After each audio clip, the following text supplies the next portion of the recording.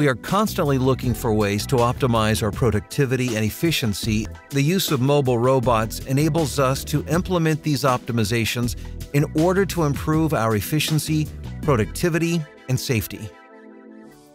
They autonomously transport material and empty containers between warehouse and assembly. For this task, they're equipped with the MIR hook. We use MIR as a conveyor belt.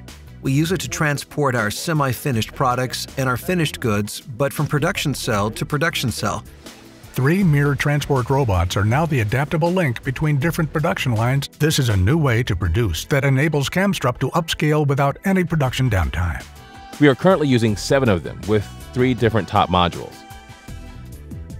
They are capable of detecting obstacles, and we not only track their location, but also their task at all times.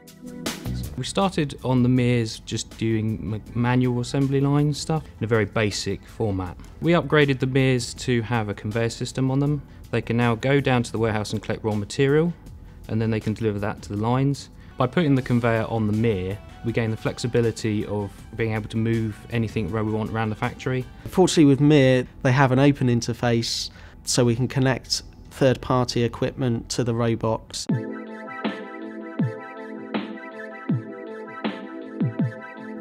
We chose Mir as our mobile robot because it was a flexible solution in which we could see a lot of potential.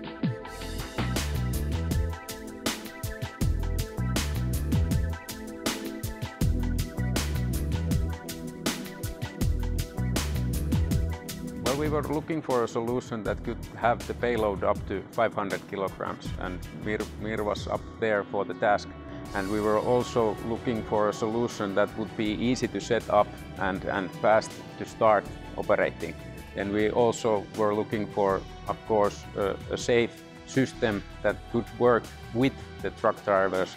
This has increased our productivity. We have already proven that these robots are able to learn their route by themselves, as well as that they are perfectly able to interact with our employees and forklift trucks in complete safety. Making the robot easy to use was extremely important to us. I would split the ease of use into two parts.